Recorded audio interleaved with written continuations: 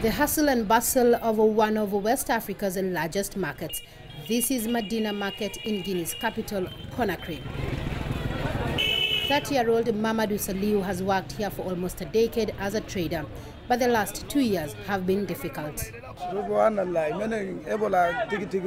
Since Ebola broke out in this country, things have been different here. It's affected all businesses. Before Ebola, everyone in the market would go home with some profit at the end of the day. One didn't have to be a big trader to see a good profit margin. Our neighbors from Sierra Leone, Liberia, came here to shop. Now all we have are local customers, but even they aren't many. Ebola broke out in Guinea in December 2013 and quickly spread to Liberia and Sierra Leone. More than 2,500 people were killed in Guinea before it was declared free of the virus last December. In recent days, five new deaths have been reported in the south of the country, and officials are bracing for more cases. What happened here was a failure in the surveillance system. We asked our health officials to report any Ebola-like symptoms, but that didn't happen on time, and so we had more deaths than we should have. But we are now working to correct this by ensuring there's no more deaths. We are vaccinating people around the Koropara and the villages around it. Conakry did not register many cases during the height of the epidemic, and so some here have become lax in following the preventive measures. I don't really think Ebola was a big problem. I feel it was a chance for some people to make money from it.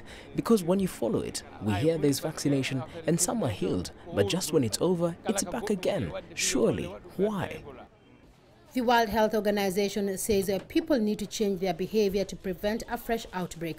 Social and cultural traditions here helped Ebola spread rapidly, and there is concern that people are back to those old habits. Liberia has already closed its border with Guinea.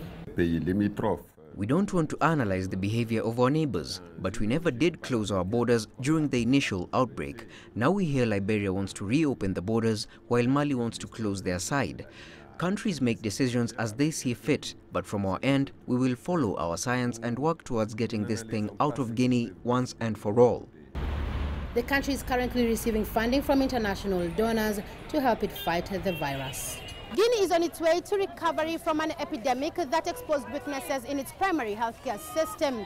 People here hold varied views on whether or not the government was successful in its handling of the Ebola epidemic. But one thing they agree on is that this country cannot afford another outbreak. Celestine Karoney, CCTV, in Conakry, Guinea.